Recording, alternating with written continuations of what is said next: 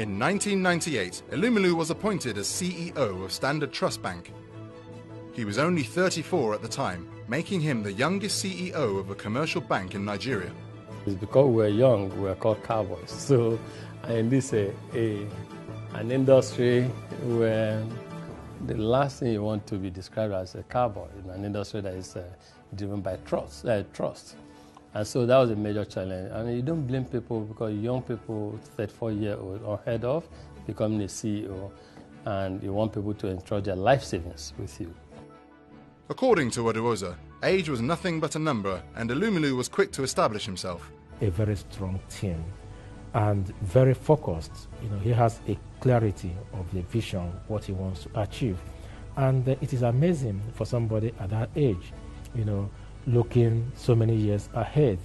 For instance, he saw the emergence of the mega banks in Nigeria long before the consolidation started and so on. So, as a very young CEO, he just transformed the entire banking industry, and people were just amazed.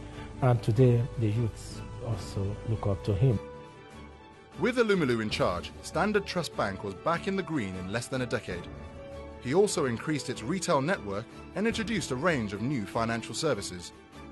By 2005, Standard Trust Bank was one of the five biggest commercial banks in Nigeria. That same year, Elumelu headed up one of the biggest deals in Nigerian corporate history by merging Standard Trust Bank with United Bank for Africa. The merged bank took on UBA as its name, and Elumelu was appointed its chief executive. Elumelu attributes the bank's success down to a simple lesson on how to save, taught to him by his father. The philosophy then was okay, you earn a dollar, let's encourage you to save 20 cents at Standard Trust Bank. And the only thing that will make you save 20 cents or two cents, one is that it's capital you're ready to risk, and two, service is good. So that if service is good and you think you're risking 20% of what you're earning, over time you grow confident and grow confidence and now begin to embrace it. And so that was what happened. So over a short period of time, the confidence level grew and people were now patronizing us more. And we grew very fast. We were the fastest growing bank at the time. We opened 100 branches in a short period of time and grew to acquire the third largest bank in the country and created the, the huge Pan African bank that exists today, the United Bank of Africa. With Elumelu at the helm, UBA morphed into a diversified financial services institution with operations in 19 African countries, as well as the UK, France, and the United States.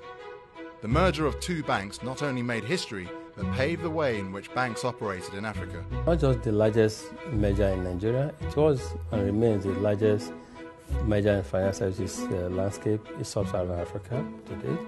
So when I started as a CEO, it was difficult to do a $10 million transaction. But we needed scale. And as you know, this saying about being at the right place at the right time, we made this move and there was consolidation also in the banking sector in Nigeria. So creating this level, this size of bank gave us a lot of capacity to do transactions. Today, United Bank for Africa can single-handedly do a $300 million transaction, can syndicate billions of transactions for customers. That didn't happen before. So creating size, size, scale was key in making some of these transformational changes. Elumelu stepped down as CEO in 2010 on the back of the Central Bank of Nigeria limiting the tenure of top banking executives to 10 years. By the time he left, the UBA Group was worth $2 billion in terms of market capitalization, with more than $12 billion in assets, 10,000 employees, and 7 million customers. Elumelu's Pan African approach offered a glimpse into his plans beyond banking. He decided to set up an investment firm that would boost Africa's social and economic wealth by ploughing money not just into financial services, but the private sector as a whole.